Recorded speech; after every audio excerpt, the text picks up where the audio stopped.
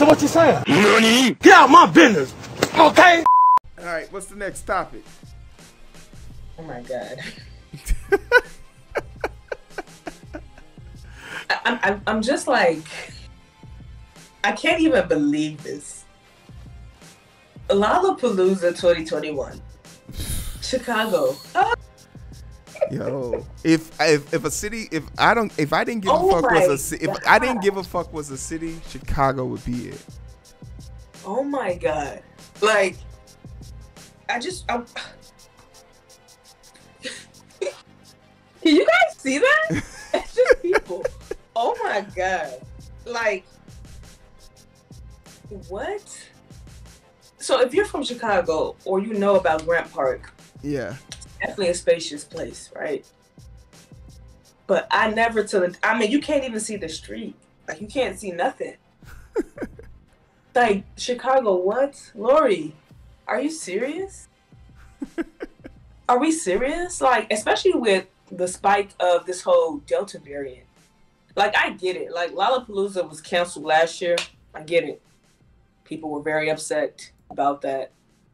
Um was it warranted to happen this year for four days? I would have I would have appreciated maybe two days, but four days of the same amount of people. Cause y'all was passing out four day passes Mhm. of 180,000 people, and you didn't start mandating people to wear masks or show their cards until day three. Man, huh?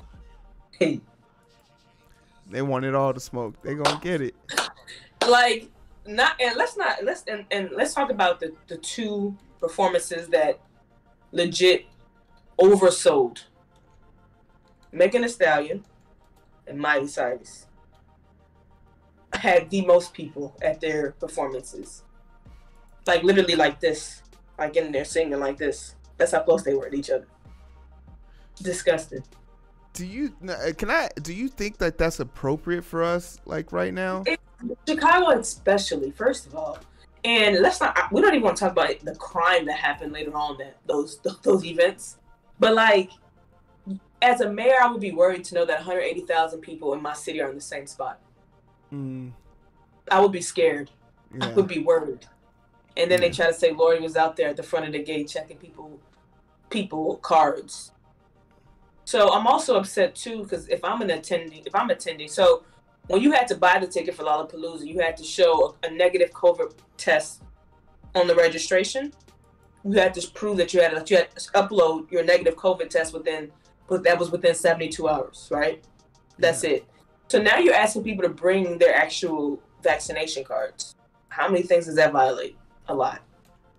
No. Grant Nah, Park, Grant Park is a park, right? It's a park. but it but the park was commandeered by a private entity that owned that owned a statewide licensure to be there, so they can operate. The state has to operate under that private licensure agreement, so they wouldn't have gotten in trouble for it.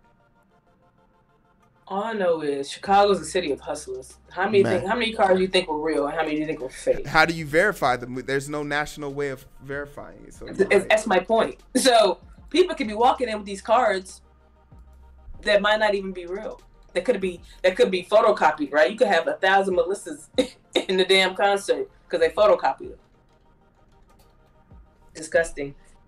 Disgusting. I'm disappointed in Chicago. I'm disappointed, and I'm also hearing that another another big festival that's coming up in Chicago that I attended in 2019 before COVID happened is is Brewfest, the High Park Brewfest. I remember Brewfest being the same way, packed, Hmm. like packed, and it's they're they're saying that the show will go on for that. So get ready for another surge. But yeah, I was disappointed. Like I, I was shocked at this picture. I mean, not to say like we didn't just see it at in Miami at Rolling Loud, right? Mm, But I don't think it was this much people. Like people from all over the world came to this. yeah, Wow. Lollapalooza is known for this. Wow, Lalo. Woo. I just don't know if it was worth putting this many people at risk, right? Like, I I- get having a good time, but also I'm also of the mindset uh, as a person who's vaccinated, and if I really wanted to go, I would have gone because I'm tired. I'm tired of this in the in the house type shit, bruh.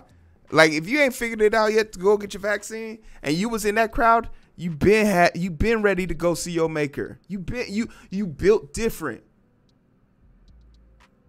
But you ain't built you ain't built the way you think you is. So I I'm I, I don't know. I I'm would I have been there? No.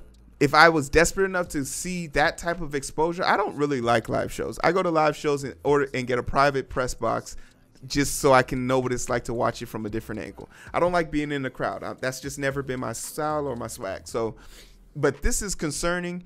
But I'm interested to see in two weeks what the numbers look like. So it's been a, a week right now.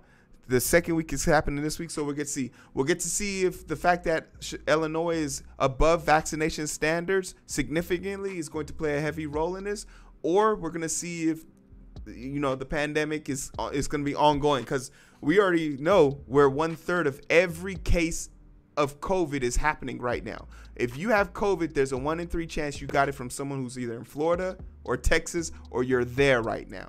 So we'll we'll talk more about it. But for the meantime and in between time, Nafi, where can they find us? Not at Lollapalooza. Jesus. and I'm going to Chicago in like two weeks. Whew. I don't know. But uh, y'all can find us on TikTok, Twitter, Twitch, YouTube, IG, Facebook, Spotify. Uh, Apple iTunes. Yes, thank you. and all those But it's so hard to find through the daily grind. Been working overtime. And I'm sleep deprived. Shorty on my line